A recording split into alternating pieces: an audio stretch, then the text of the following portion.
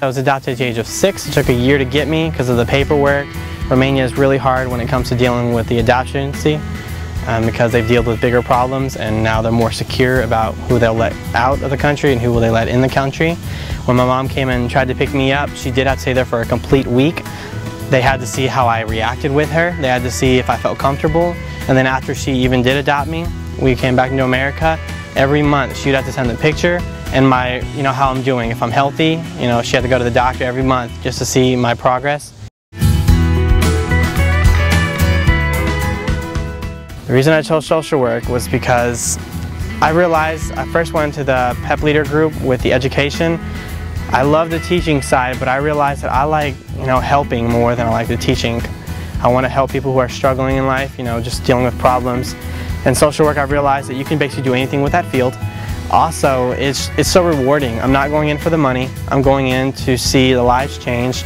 And my goal is to get up in a much higher position, maybe with the government or maybe a superintendent at a school to actually make a difference within the schools and within basically people's lives. I say in SGA, I want to know what's going on around the campus.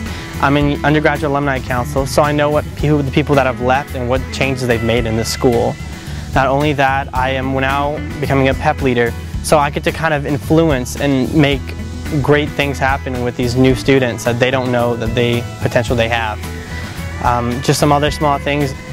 Honor Society. I'm doing the Honor Society because I want to know where everybody is. Really smart ones can help other people that might be struggling and I want to have those connections to be able to provide that answers. And then um, my biggest thing is I go around and talk to teachers.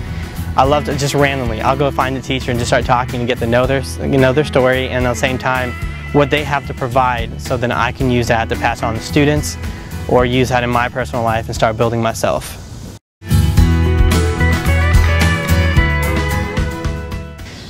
Tanya Brown, she is my, she, she's actually was brand new first uh, semester teaching at Social Work 220, which is a human diversity group.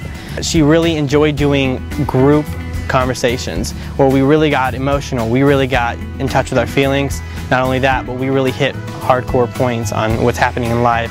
She, after taking her class and seeing how much she loved it and how she loved to talk about it and how she wanted people to interact, it made me look for that. And then more and more I started seeing I'm that kind of person. So then that's encouraged me to follow more into social work. Now that I've been in it, I can't think of anything I would want to change.